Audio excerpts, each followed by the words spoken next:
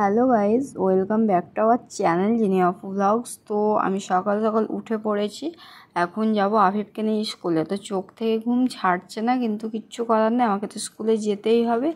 তো এই আফিফকে স্কুলে দিয়ে এসে আমি এখন বাইরে বসে আছি। তো এই একটা গাড়ি থাকে একটা গাড়িতে স্কুলে অনেক গাড়ি থাকে। তো তার মধ্যে যে কোনো একটা গাড়িতে প্রত্যেক দিন আমি বসে থাকি। আমি কি? অনেক মায় একসঙ্গে বসে থাকি। স্কুল থেকে এখন চলে এসেছি। আফিফ আমি দুজনে ফ্ল্যাটে গেলাম। ওখান থেকে চান টান করে ফ্রেশ হয়ে চলে আসলাম। আজকে ভাবলাম যে ওর কপিগুলো যদি দিয়ে দেয় স্কুলে তাহলে কালকে স্কুলটা পাঠাবো না। কালকে ওই বিয়ের কোনো রাত্রি যাব। তো এমন কপাল আজকে কপি দেয়নি। কালকে পাঠাতেই হবে। আগে স্কুল থেকে আফিফকে পাপা আনবে, তারপর কালকে বিয়েতে যাব। তো এখন দুজনে ভাত খেয়ে নিলাম এসে। তো ওকে ঘুমাতে বললাম এসিটা চালিয়ে দিই। এসি না চালালে তো থাকবে না একদমই। এসি ছাড়া এক সেকেন্ড থাকে না। আর আমি এখন যাব ওই পাড়া আড্ডা মারতে। কারণ সবাই এখন বিয়েতে একসঙ্গে, বোন, দিদিরা সবাই একসঙ্গে আছি। তো এনজয় হবে। তো সেই কারণে এখন ওই পাড়াতে ঘুরে আসি, দেখি আমাকে একটা ফোন নিয়ে যেতে দেবে না। আমি ওদের ফোনে শ্যুট করব, সেই ভিডিওটা আমার ফোনে পাঠিয়ে দেবো, তারপর তোমাদের সামনে শেয়ার করব যে ওখানে কী করছিলাম।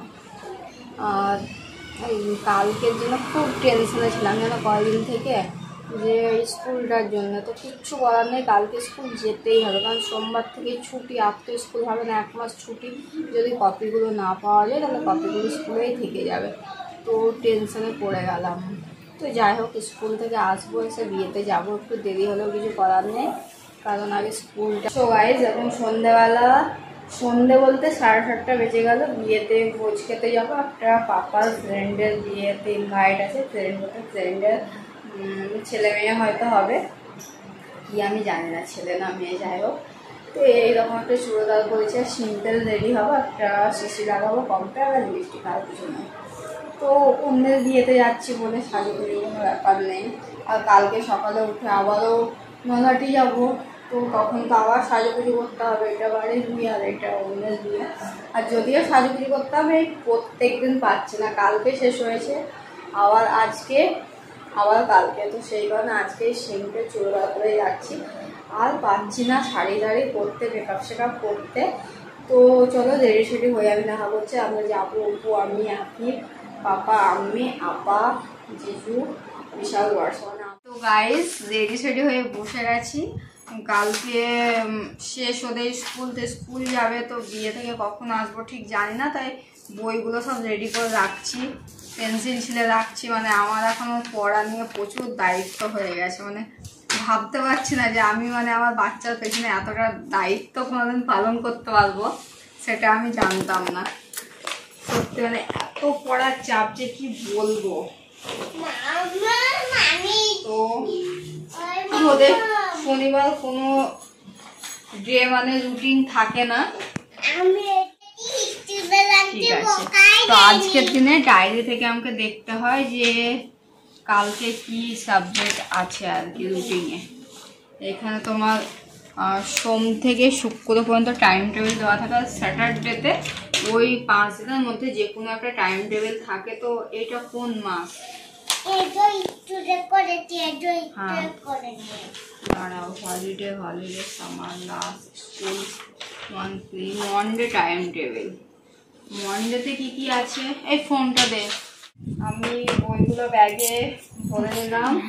এবার যতক্ষণ বাড়িতে আছি ততক্ষণ ওকে পড়াবো। যে ওরালগুলো দেয় সেইগুলোকে মুখস্থ করাতে হবে। ওই বুকসটা দাও ওই বুকসটা বুকস? হ্যাঁ। আর এই কপিটা দাও।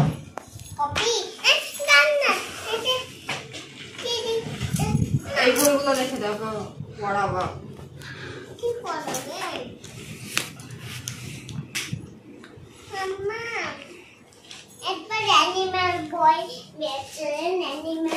তো দেখো আফিফকে পড়ানো হয়ে গেল, তো আমরা বিয়ে বাড়ি যাব, সবাই চলে এসছে আপারাও চলে এসছে, আর এটা বানি বানিকে তো তোমরা সবাই চেনো, আর এখানে কাউকে আলাপ করানোর কিচ্ছু নেই, সবাই চেনো। আমার আপা, জিজু, বিশাল, বর্ষা, অপু আর আমার বরটা দেখো খ্যাপার মতো বসে আছে। তো এবার আমরা বেরোবো। ছুটে আমি উপর থেকে নামছি। কেন জানো? এই বাড়িতে তালা মারতে হবে। আর তালা মারতে আমার মাথা খারাপ হয়ে যায়। কতগুলো লক করতে হয় রুমে জানো এখানে? তো সেই কারণে আমি আগে ছুটে নেমে পড়েছি। তো নেমে গিয়ে বাইরে দাঁড়িয়ে আছে জিজু, অপু, পাপা। তিনজন বাইকে যাব আর কি। তিনটে বাইক, স্কুটি। তো তোমরা আজকে থাম্বেল টাইটেল দেখে অবাক হয়েছো যে কী এমন হয় যে বিয়েতে আর কি মাংসের ভোজ না করে মাছের ভোজ করা হলো? তো আমি যতটা শুনলাম মানে জীবনে কোনো দিন কোনো বিয়েতে গিয়ে না মাছের ভোজ খাইনি। মানে মাছ থাকলেও মাছের সঙ্গে মাংস থাকেই, কিন্তু এখানে মাংসের কোনো আইটেম নেই। তোমার এমনকি একটা পাকুড়া বা স্টিক এইগুলো কোনো মাংস দিয়ে হয়নি। সেটা কেন জানো? থাম্বেল টাইটেল দেখে অবাক হয়েছো? তো তোমাদের বলেই ফেলি, আমি শুনলাম নাকি এদের যাই হোক একটা বিয়ে হচ্ছিল অনেক দিন আগে। তো যখন মানে এরা হিন্দু, মুসলিম নয় তো যখন খাসি জবাই করছিল না, তখন ওই যেমন খাসিটা জবাই হয়েছে, সঙ্গে সঙ্গে ওদের বাড়ির একটা মানুষ মারা গিয়েছিল।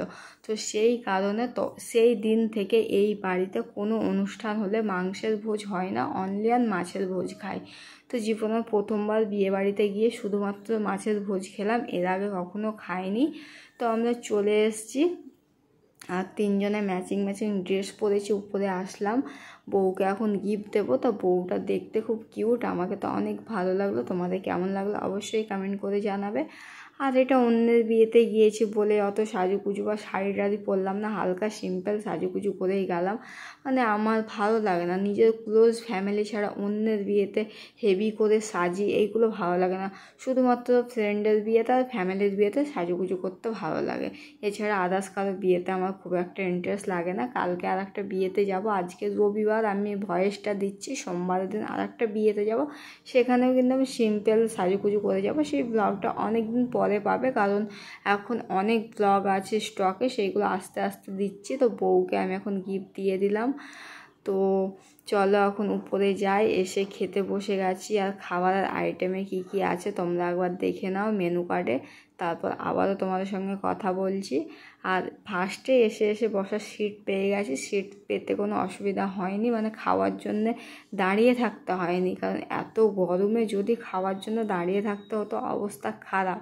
আর যেই হোটেলটায় বিয়ে হচ্ছে, এটা মনে হয় নতুন হয়তো হবে। মানে এসির কানেকশন করা আছে, কিন্তু এসিগুলো হয়তো এখনও লাগানো হয়নি। প্রচণ্ড গরমতে এখানে দেখতেই পেলে সব খাবারের আইটেমগুলো আর মাছগুলো রান্না কিন্তু খুব ভালো হয়েছিল। আর ফ্রায়েড রাইস যদি কোনো বিয়েতে এসে দেখি তো আমার মাথায় ভূত চেপে যে আমার ফ্রায়েড রাইস জিনিসটা একদমই পছন্দ নয়। ওরা দেখো একটু একটু করে খাচ্ছে কিন্তু আমার থালা দেখো ফাঁকা। আমি কিন্তু এখনও কোনো খাবার পাইনি কারণ আমি সাদা ভাত খাব।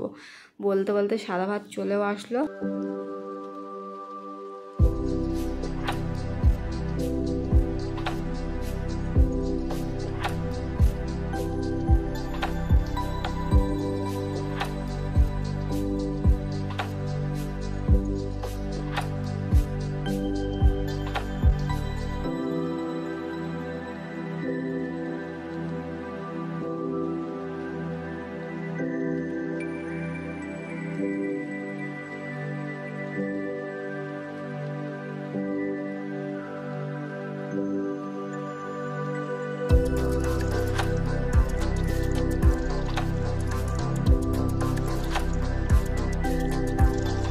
আমাদের খাওয়া দাওয়া এখন শেষের দিকে, তো এখন স্টলে চলে আসলাম। স্টলে এসে আমার ছেলে জানো পনেরোটা থেকে কুড়িটা ফুচকা খেয়েছে। ওকে আমি বাজারে কখনো এতগুলো কিনে খাওয়াই না, কিন্তু আজকেও খেয়ে নিয়েছে। যে বাচ্চা তো এত খেলে ক্ষতি হবে, তো কী আর বলব? শুধু খেয়েই যাচ্ছে খেয়েই যাচ্ছে। তো দেখলাম, থাক, ও তো বিয়েবাড়িতে কোনো খাবার খায় না জাস্ট ওকে এরকম সাথে আনাই হয়, ও খেতে আসে না। তো ফুচকাটা নিশ্চয়ই ওকে ভালো লেগেছে বলে খাচ্ছিলো। তো দেখলাম, থাক, পনেরো থেকে কুড়িটা ফুচকা খাওয়া, আমি অবাক। আর আমি চারটে খেলাম, কারণ ফুচকা জিনিসটা বেশি খেতে পারি না। ফুচকার ওপর লোভ আছে, কিন্তু বেশি খেতে পারি না। চলো, এখন আমরা বাড়ি যাই, বাড়ি গিয়ে।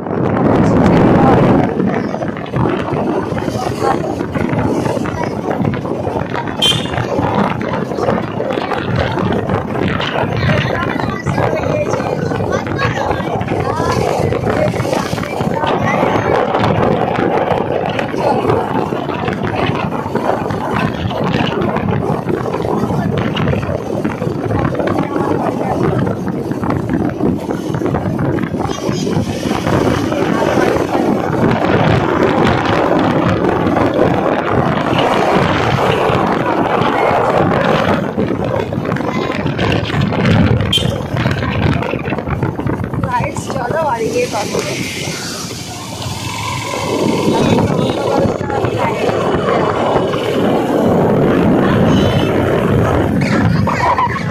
ফ্রেশ হয়ে গেলাম, তো ওই রুমে যাব, ওই রুমে সবাই বসে আছে, আজকে ওই রুমে ঘুমাবো।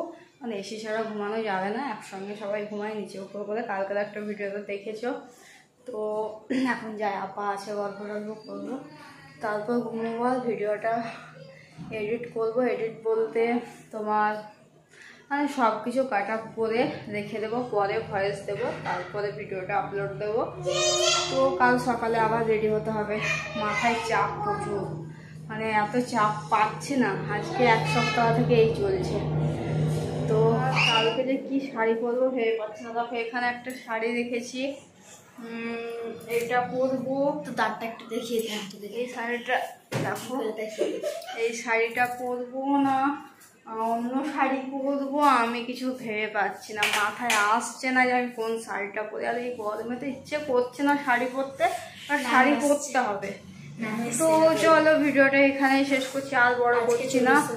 ভিডিওটা কেমন লাগল অবশ্যই লাইক কমেন্ট শেয়ার করে জানাবে। আর যারা নিউ ভিডিও করছে একটা সাবস্ক্রাইব করে পাঁচটা টং করে বাজিয়ে দেবে।